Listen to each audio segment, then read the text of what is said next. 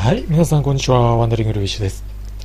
今回は、三国志 13PK の英傑伝外伝。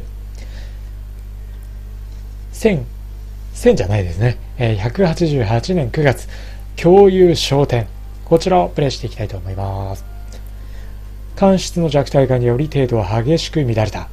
大いなる権力をめぐり、神官や悪神たちの清掃は泥沼と化す。これを生還し力を蓄えていたのは領州の銅鐸である。高知か天米か共有銅鐸に釉薬の好機が訪れるということで、こちらをプレイしていきましょう。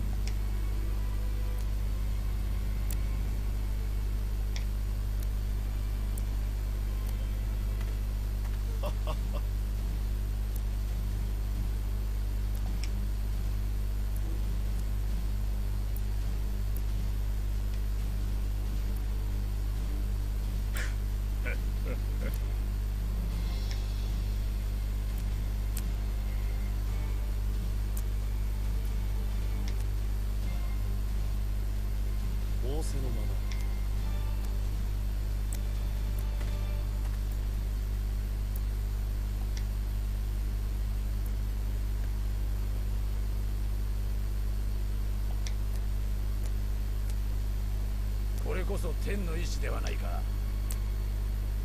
さあ、ここからは三国志 13PK の、まあ、新要素、妖艶についてですね、やっぱりね、こういうあたりをきっちり学んでからシナリオをやらないと、呂布の二の舞になりますね。で、えー妖艶とは、都市と都市の間にある地点で集落効果を持つものや、港など様々な種類があります。まずは妖艶、太陽を制圧するべく軍勢を派遣しましょう。一定期間経つと妖艶を制圧できます。自軍の妖艶には城塞を一つ建築できますということですね。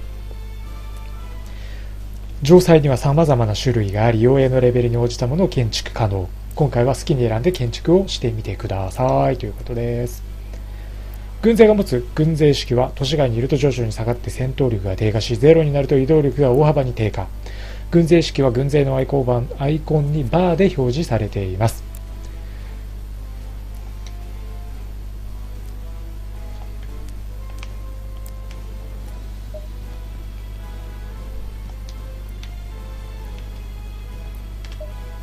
銅鐸勢は太陽に向けて出陣中ですね。到着は2日後。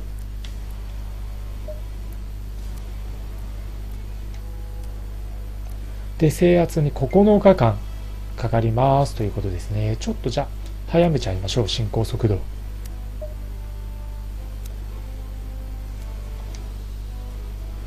で、今、城塞を建築できる状態になりましたので、早速建築していきましょう。で賢人なのか軍落第なのか。賢人は防御が上昇し采配戦闘の時は本陣の耐久が上昇しますと、うん、で軍落第はというと戦闘時は士気が回復采配戦闘時は周辺、まあ、本陣の周辺の士気が回復するということですね。そうなるとまあここはどっちにしてもいいという話だったので軍落台を作っておきましょうか。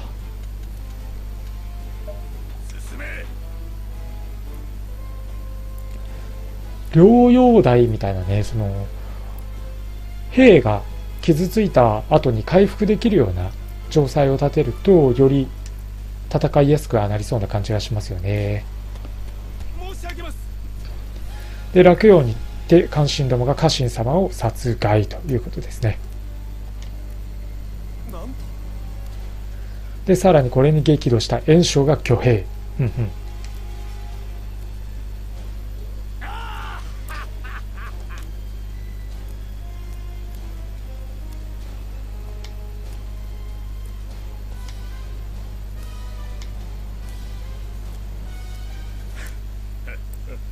悪そうな感じだな道卓は。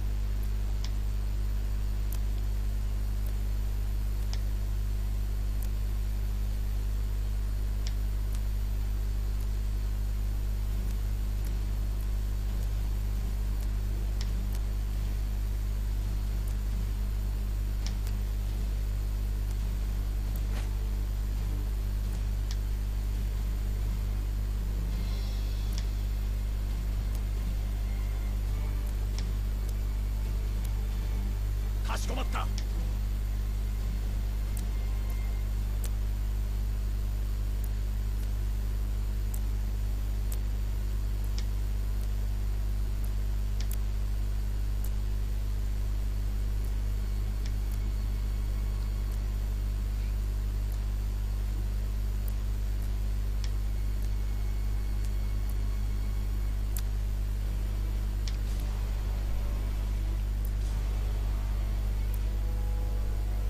さあここからはでは帝を守護しながら洛陽まで登りましょう。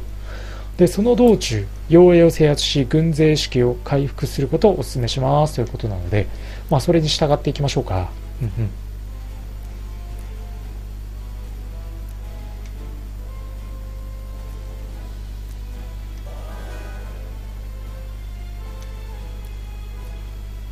では洛陽までの道のりをちょっと確認しておきましょう。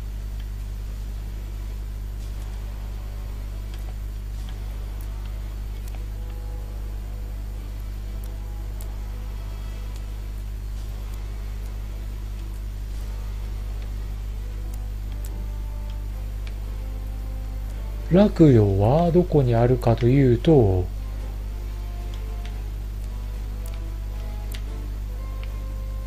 完全に見失ってる。えっ、ー、と洛陽洛陽あったあった。ここですね。では洛陽に入るためにどうしようかな。南から回っていく方がもちろんいいよね。ただその途上でいくつか敵のルートを通らなきゃいけないかな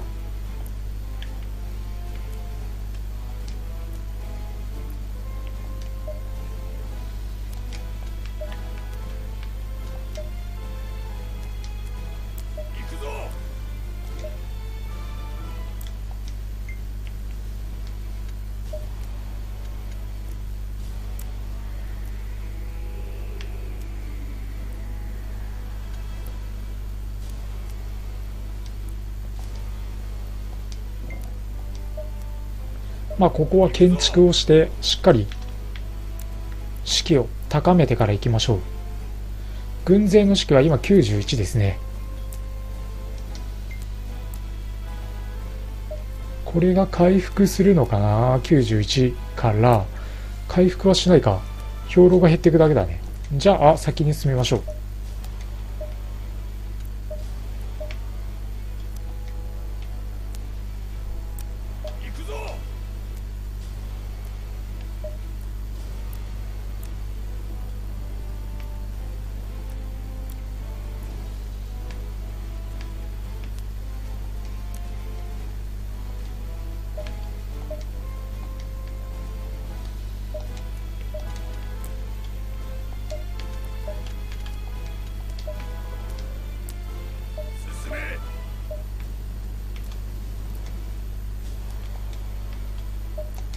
これで楽陽に無事到着できそうかな。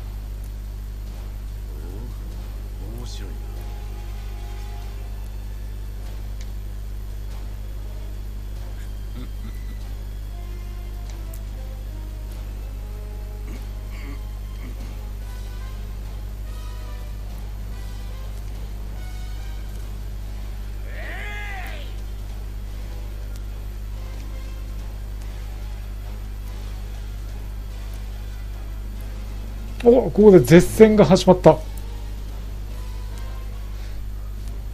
銅鐸の知力は75か。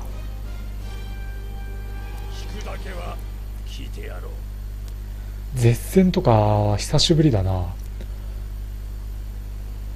絶戦では5号の勝負を行い相手の気力をゼロにするか終了後に相手より多く気力が残っていれば勝利。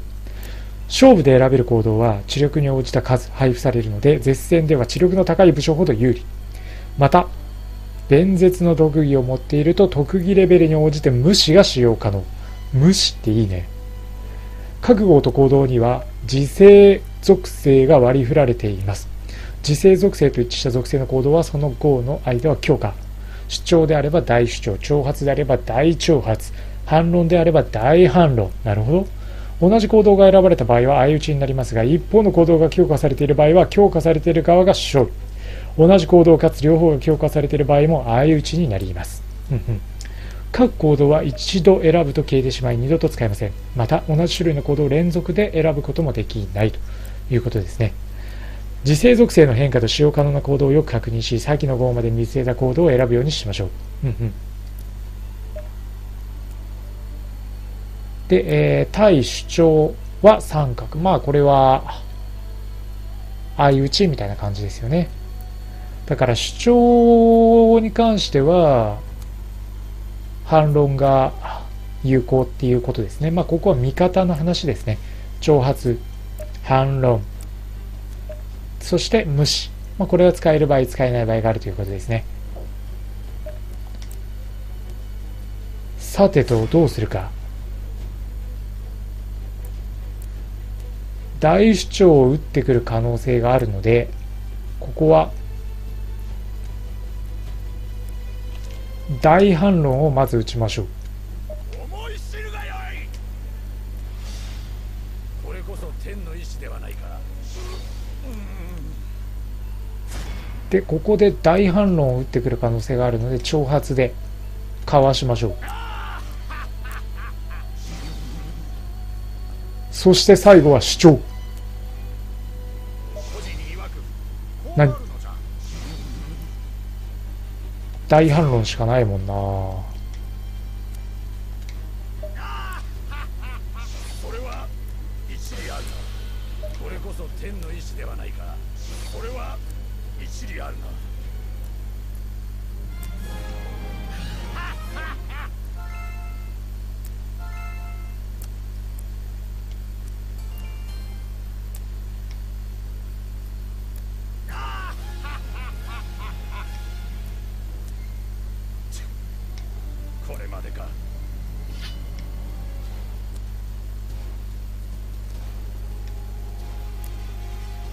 承知。両方戦の部に敵などない。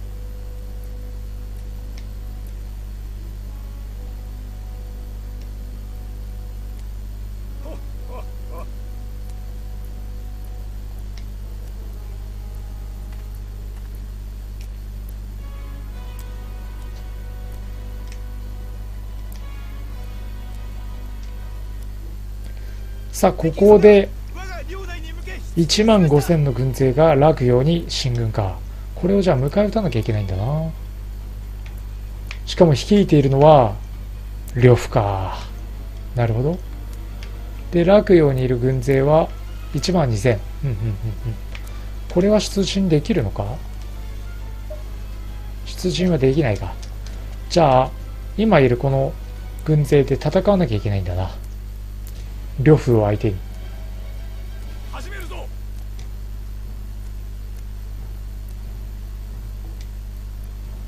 この軍技も三国志 13PK からの新要素ですね。軍技とは強力な効果を持つ戦術についてどの戦術を用意しどの地点に配置するか。軍勢の3軍が主導して結成する場せ決定する場です。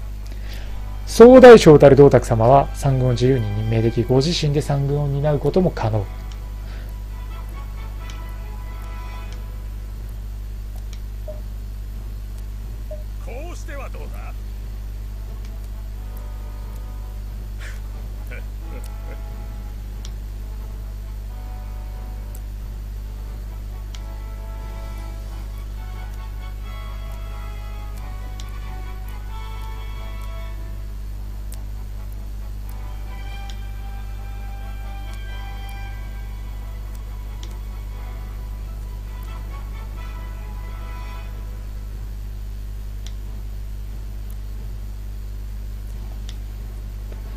さあでは早速戦術を配置していきましょう。で今選べる戦術はこの喜寿人戦術しかないので、えー、この喜寿人戦術をこのなんていうのかな、えー、人種みたいなところに配置していく形になりますね。じゃあここに配置しましょうか。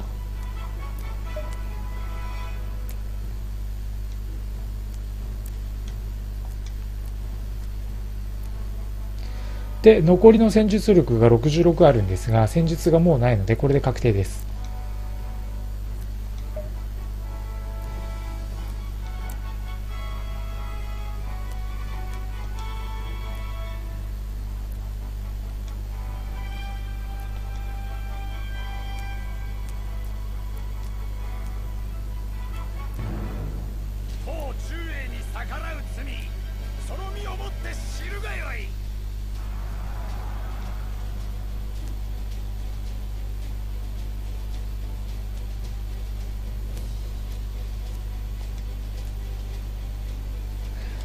では早速軍勢を先ほど戦術を配置した砦に派遣していきましょう、まあ、銅卓自ら行きますか。でどこに戦術を置いたかというとここに置いてますね。マークも出てます。なのでここに配置していきましょう。で敵、まあ、両夫がどう出てくるかがわからないんですがここは残りの2部隊も派遣していきましょうか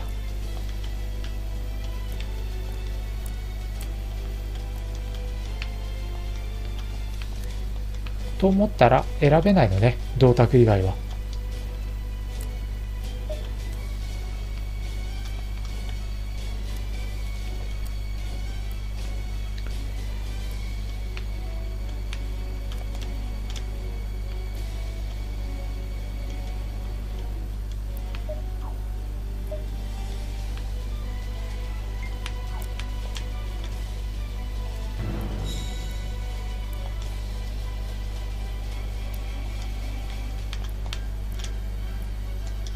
を選べるね。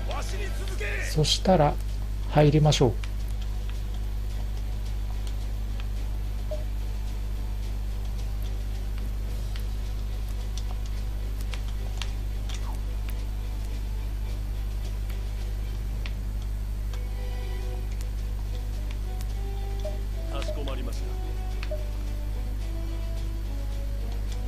で敵は北から攻めてくるか。となると北に差し向けた方がいいね。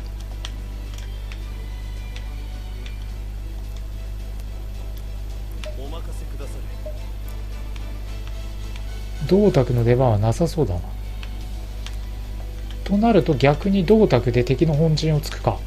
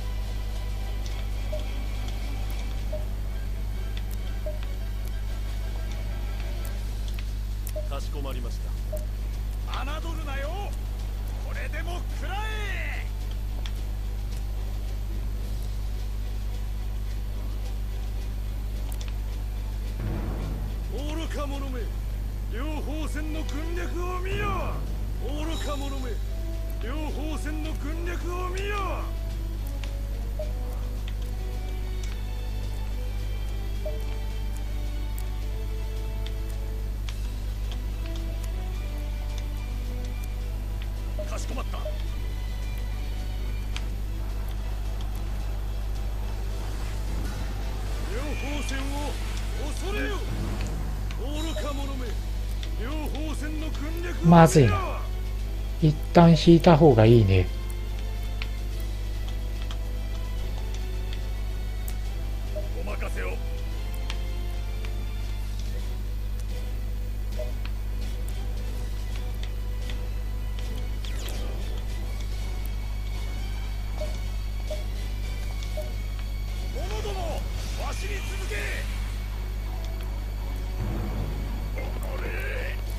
すが呂布だな。まともに戦っても勝てる相手じゃない。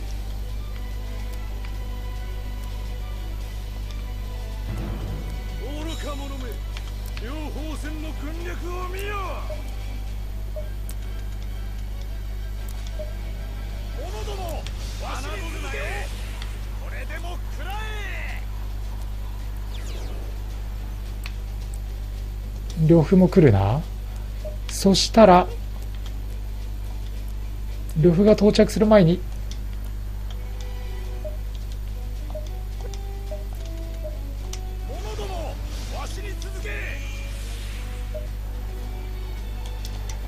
よし。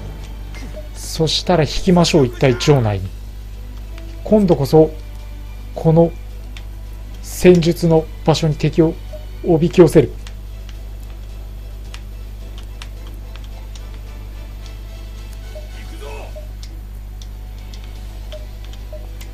まずいな銅卓が。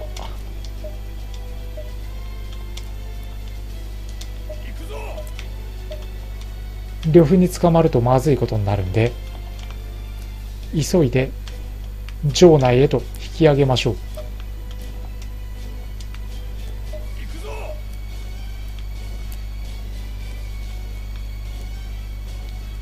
呂布に追われてるなこの絵。呂布に捕まるなよ。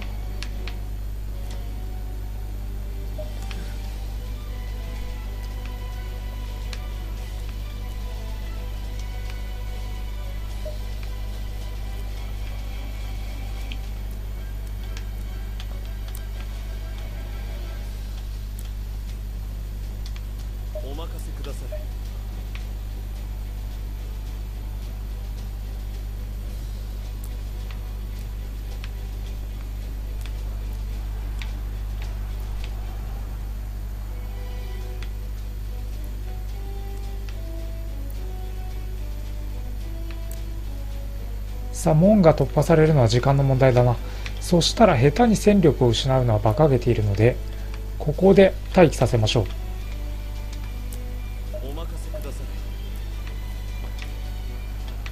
う。できれば確実に呂布を引きつけたいのでこの辺りまでちょっと誘いを出しましょう。で城門を突破してくるはずだ呂布がでこちらに攻めかかってくるところをこの陣で迎え撃ちましょう。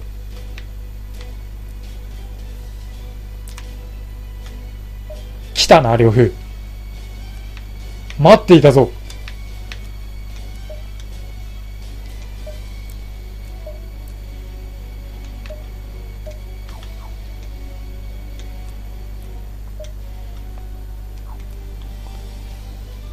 奇獣陣戦術。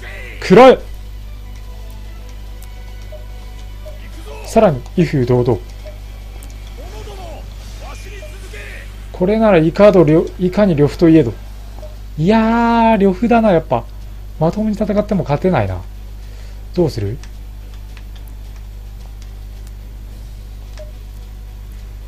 挟み撃ちに今からするとしても厳しいな。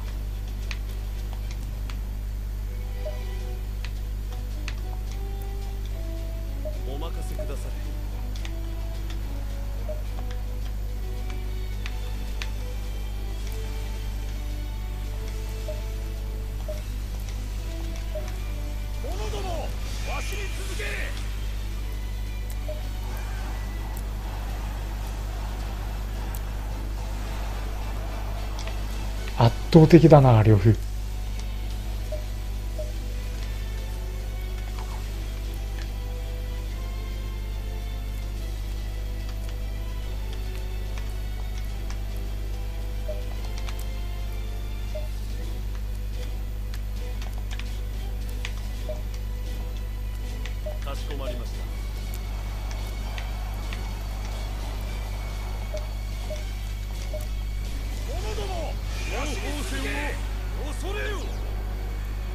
まずいね。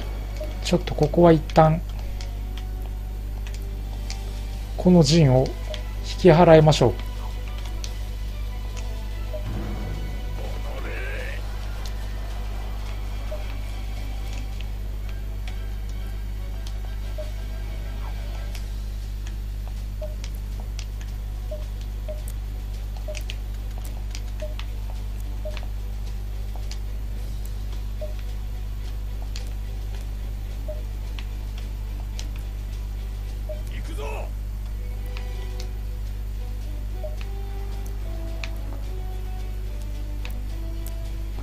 また呂布と追いかけっこが始まったな。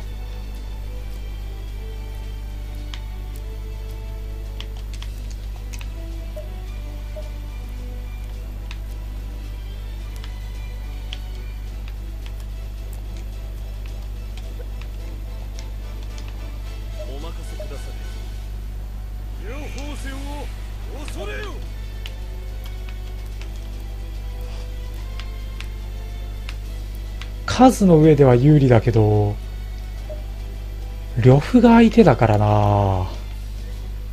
かしこまりまし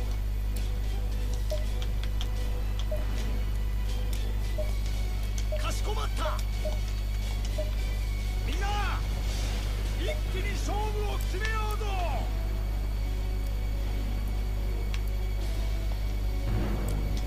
ぞ。縄文突破されたか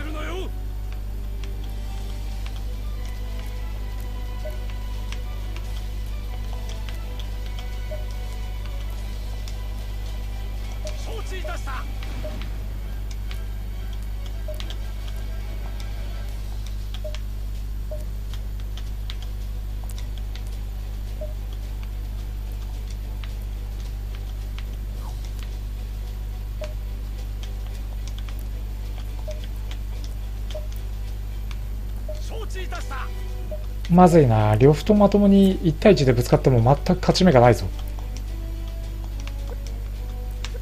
承知いたし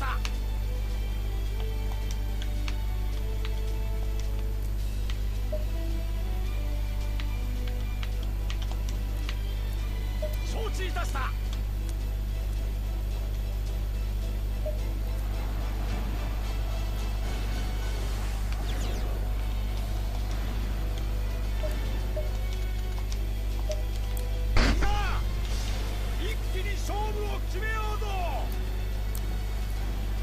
ただなんかうまい具合に階段の下で呂布を迎え撃つことができて壊滅させることができた。いやー助かったな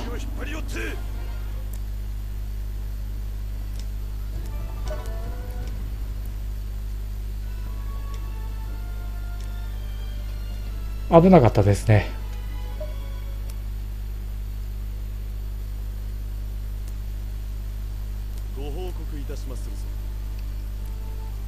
さあ提言は撤退後国元にて陣容を整え再度落葉に向け出陣するよう。なるほど。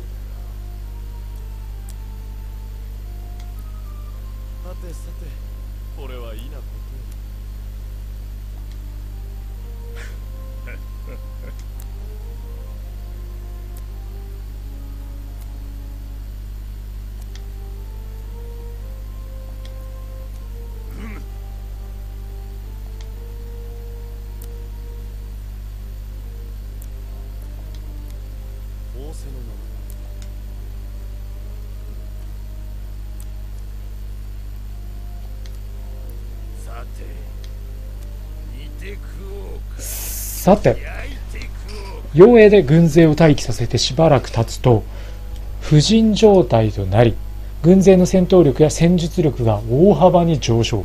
大幅にっていうのがいいね。洛陽に攻め込んでくる低減勢に対しては洛陽川内から部隊を出撃させ傭兵コートで布陣をして迎え撃ちましょう、うんうん、ちょっともう一度確認します。洛陽と川内高知ですね、えーから出陣させ傭兵コートで迎え撃つ。承知。長領勢には河野長安から出陣し城塞を建築した陽影太陽で布陣し迎撃すれば敗北はないと、マップから陽影を選び出兵を選ぶとその陽影に向け兵を出陣させられます。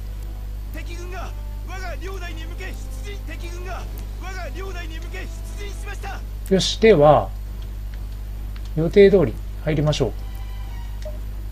まず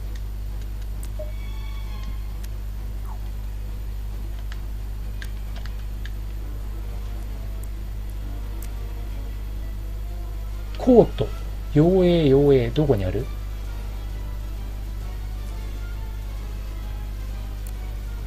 ここだな。ここに向けて出陣しましょうか。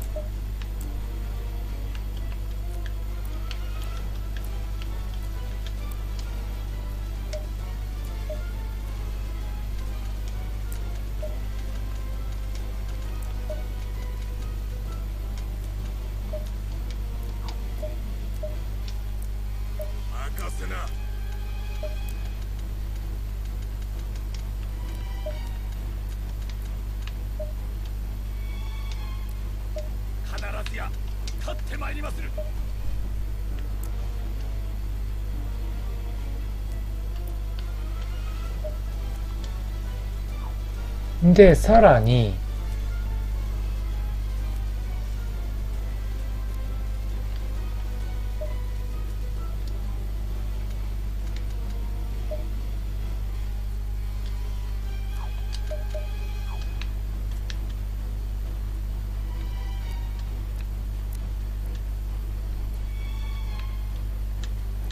長安から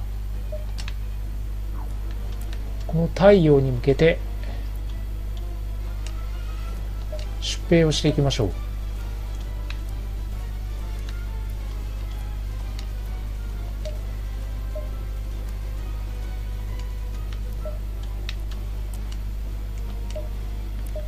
こんだけ出せば型がつくだろう。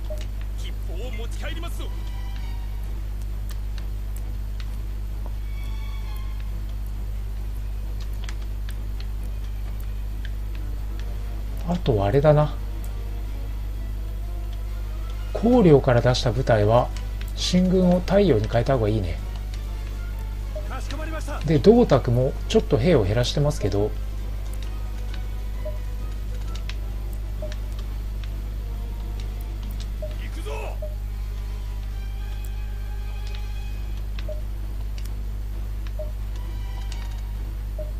この長領勢をコートに差し向けましょう。銅鐸の援軍ですね。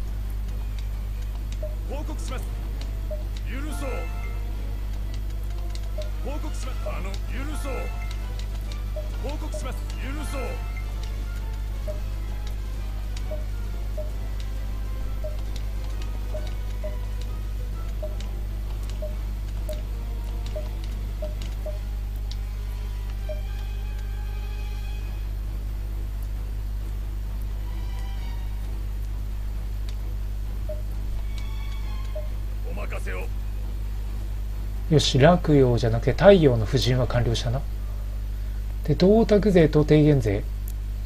9100か。再編戦闘を行いましょう。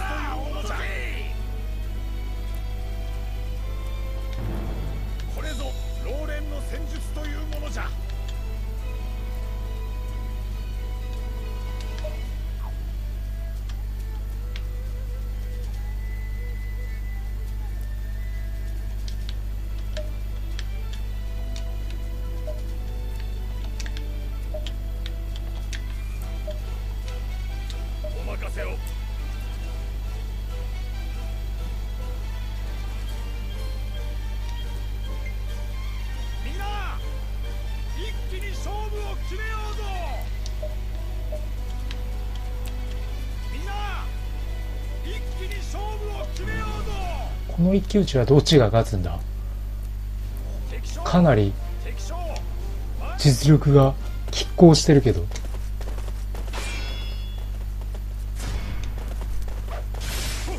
なんかまずい感じだな。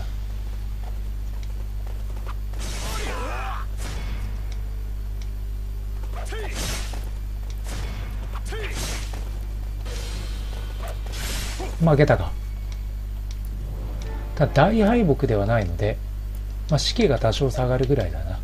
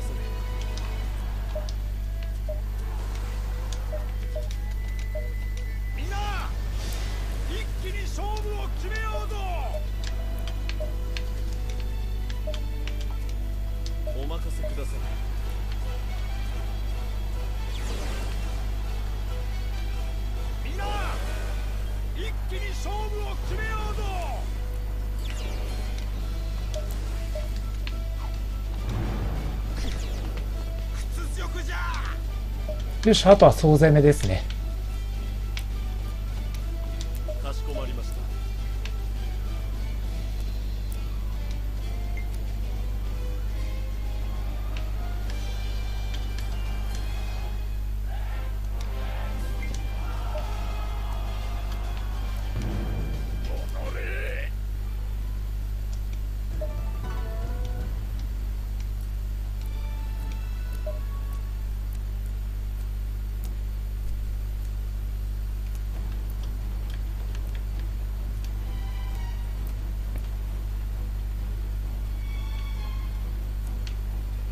問題は調量勢だな。この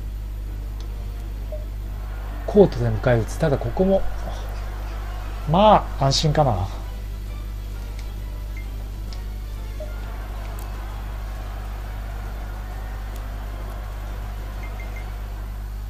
よし。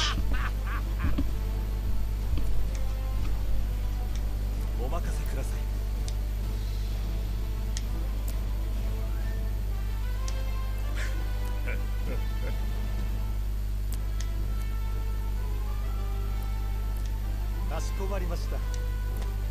皆の者出陣である。当中英に逆らう罪その身をもって知るがよい。さあでは出陣していきましょう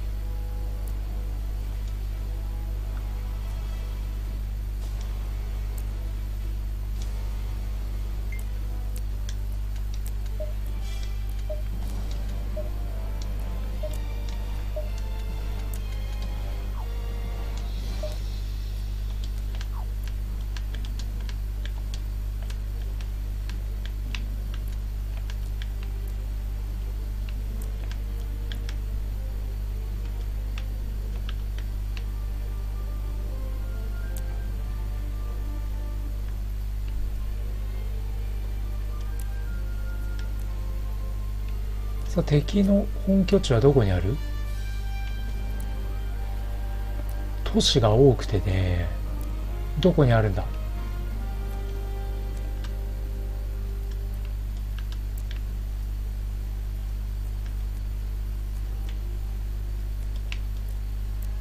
ここだな。呂布が守ってるんだ。で軍勢の数は？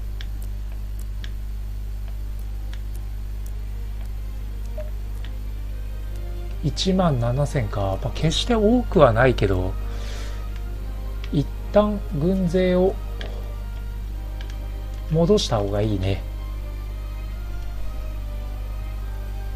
というところで、まあ、ちょっと長くなってしまったので、えー、まあ、その1っていう形で一旦ここで締めさせていただいて、えー、この続きはですね、えー、次回プレイをしていきたいと思います。はい。えー、ご視聴ありがとうございました。この動画が面白いと思った方はチャンネルの登録をお願いいたします。動画の視聴画面の下の方からチャンネル登録することができますので、ぜひよろしくお願いいたします。また、動画の解説欄に Twitter のリンクも貼ってありますので、ぜひ Twitter のフォローもよろしくお願いいたします。